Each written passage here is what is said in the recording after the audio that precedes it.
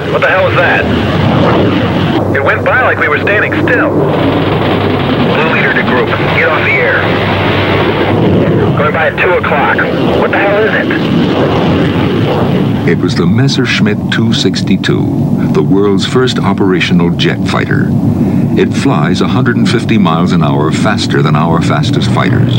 ये है M two six two German engineering का मार्वल पहला ऑपरेशनल फाइटर प्लेन इस प्लेन ने नाजी जर्मनी को वर्ल्ड वॉर टू में लिटरल एयर डोमिनेंस दिया था। M two six two advance Nazi technology का सिर्फ़ एक एग्ज़ाम्पल है। वर्ल्ड वॉर टू खत्म हो जाती है और हिटलर खुद को अपनी बीवी के साथ बंकर में गोली मार लेता है। और नाजी सोल्जर्स जिन्होंने वॉर क्राइम किए थे, उन्हें एलाइज अपने हिसाब से सजा दे देती है। अब कई सारे लोगों की जान और एलाइज की डेथ के पीछे नाजी साइंटिस्ट का भी बहुत बड़ा हाथ था। ये जर्मन साइंटिस्ट ही थे जिन्होंने weapon of mass destruction Nazi army के लिए बनाए थे। तो जर्मन साइंटिस्ट को भी तुम लोगों के हिसाब से सजा तो मिलनी चाहिए ना? नहीं, ऐसा नहीं होता। देखो एलाइज की दोस्ती कच्ची थी। यूएसए सोवियत यूनियन के साथ इसलिए था जैसे एक कॉमन दुश्मन नाजी जर्मनी को हराया जा सके। दोनों पार्टीज़ बहुत अच्छे से जानती थी। ये वाली वॉर खत्म होने के बाद एक दूसरी वॉर उन दोनों का इंतज़ार कर रही है। भले नाजी जर्मनी हार गई हो पर जर्मन टेक्नोलॉजी ने वर्ल्ड वॉर टू में अपना जलवा दिखा दिया था। और इसी जर्मन टेक्नोलॉजी का फ़ायदा उठाने के लिए, कई सारे नाजी साइंटिस्ट को छिप छिपाकर बचाकर अपने देश यूएसए ले आई और जर्मन साइंटिस्ट को वेपनाइज किया।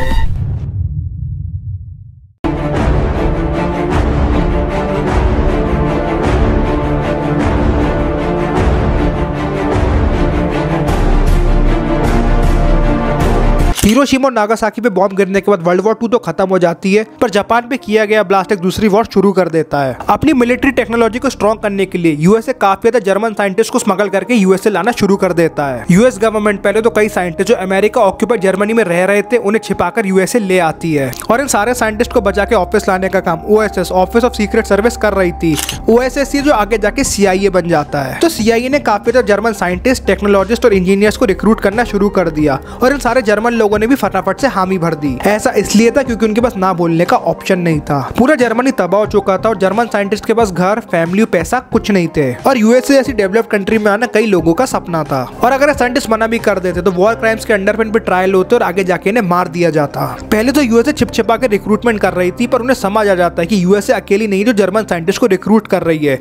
यूएसएसआर भी अपनी तरफ़ से जर्मन साइंटिस्ट को रिक्रूट करने की कोशिश कर रहे थे। तो अपनी स्मगलिंग को बिल्कुल तेज करने के लिए सेप्टेम्बर थ्री नाइनटीन में यूएस प्रेसिडेंट ट्रूमन ने ऑफिशियली डिक्लेयर कर दिया कि यूएसए का military department chosen rare mind के इमिग्रेशन को स्पॉन्सर कर सकती है यानी कि अब धड़ल्ले से लीगली काफ़ी जर्मन साइंटिस्ट को यूएसए मंगाया जा रहा था और यहाँ से ऑपरेशन पेपर क्लिप की शुरुआत हो जाती है.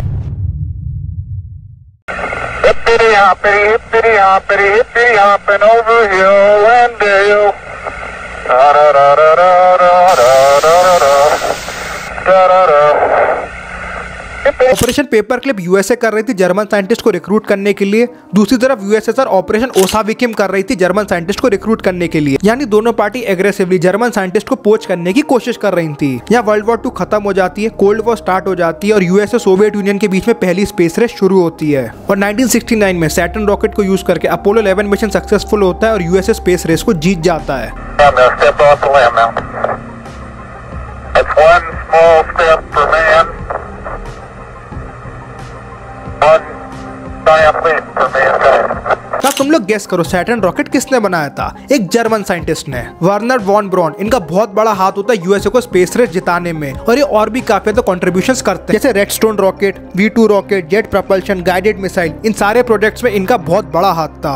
Even father of space medicine Strughold एक German scientist operation paper clip के अंडर में यूएसए में काम कर रहे थे। ऑपरेशन पेपर क्लिप 1945 से लेकर 1949 तक मार्केट में चलता है। जैसे समय के साथ साथ इसकी इन्फॉर्मेशन मार्केट में आना शुरू होती है हड़कम मच जाता है। कि कैसे यूएसए उन लोगों से मदद मांग सकता है, जिन्होंने कई लोगों को मारा है। और तो और एल्बर्ट आइंस्टाइन सीआईए के ऑपरेशन पेपर क्लिप को पब्लिकली रिवोल्ट करते हैं। विद टाइम खबर बाहर आती है कि यूएसए ने सिर्फ़ कुछ ही साल के अंदर 1500 से भी ज़्यादा साइंटिस्ट, टेक्नीशियन और इंजीनियर्स को जर्मनी से यूएसए स्मगल कर लिया था। और आगे जाके जब साइंटिस्ट का काम हो जाता है यूएसए को यूएस की सिटीजनशिप ग्रांट कर देती है। नाइनटीन में ऑपरेशन पेपर क्लिप के खिलाफ काफ़ी ज़्यादा ट्रायल्स होते हैं और उस ट्रायल्स में डिक्लेयर कर दिया जाता है। कि American military leaders morally bank है against national security Arthur Rudolph एक जर्मन साइंटिस्ट जो उस टाइम पे नासा का एग्जीक्यूटिव था। उस पर शक बैठाया जाता है कि वो वॉर के बाद भी नाजी लोगों के लिए इन्फॉर्मेशन लीक कर रहा था। प्रोसिक्यूशन के डर के मारे आर्थर अपनी अमेरिकन सिटीजनशिप सरेंडर कर देता है और जाके जर्मनी में अपनी बाकी ज़िंदगी बिताता है। ऑपरेशन पेपर क्लिप ने वर्ल्ड वॉर टू के कुछ ही साल बाद यूएसए को ग्लोबल मिलिट्री लीडर बना दिया था। और ऑपरेशन पेपर क्लिप ने यह भी बता दिया था यूएस अपने नेशनल इंटरेस्ट को प्रोटेक्ट करने के लिए किसी भी हद तक गिर सकता है। खैर, ये था सीआईए का ऑपरेशन पेपर क्लिप इस वीडियो को देख लो